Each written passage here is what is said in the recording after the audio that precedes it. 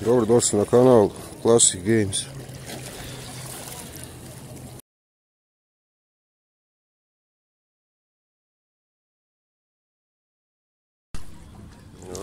Вот от раковая.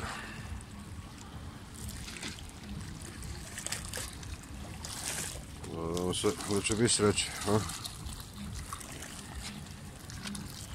а? Вот ему что я учу. Ovo je već i rok срочно посылать.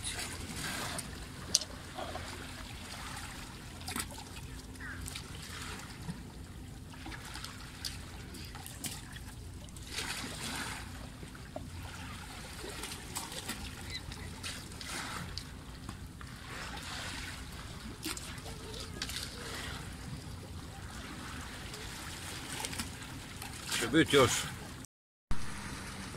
Правый другий Mali.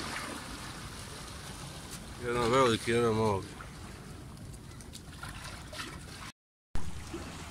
Evo i treći. Jedan veliki, dva mali.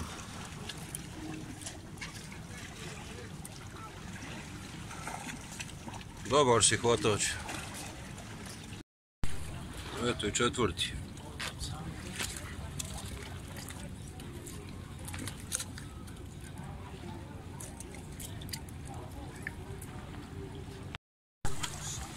Eto i peti.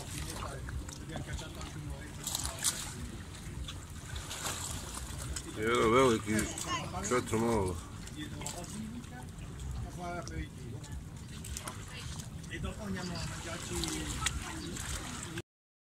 Ovo je veći, a? Vidi ga. Koji je to po redu, ne znam više. A? Istresi ga. A se dragi gledatelji, toliko što se tiče rakova. Malo smo se zabavili, ako vam se sviđaju veliki, mali rakovi morski, lajkajte, komentirajte, pretplatite se na kanal. Hvala, pozdrav.